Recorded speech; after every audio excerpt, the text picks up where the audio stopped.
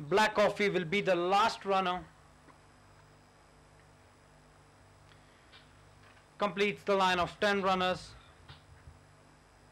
Set.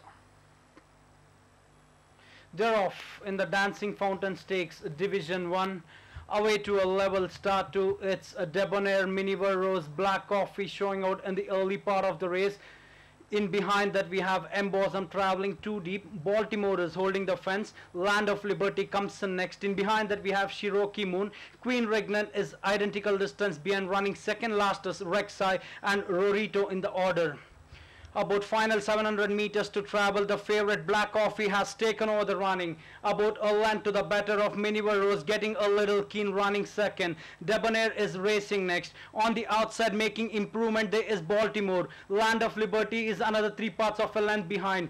For the back in the field there is the other runners of Shiroki Moon, Rek'Sai as they swing into the straight. They've got about 350 meters to travel. It's Black Coffee, still about 5 lengths to the better of the one in second position is Miniver Rose. On the outside, who's running third is Baltimore. For the back in the field, there is Debonair. Approaching the final 100 meters, Black Coffee is all alone in front, close to about five lengths in front of the one who's now moved into second position is Baltimore. Approaching the final 50 yards, Black Coffee is clear, about six lengths in front of Baltimore. We have tight for minus between Queen Regnant and Embossum. For the back in the field, there was Debonair. In behind that was Rek'Sai. Then came Shiroki Moon, Rorito.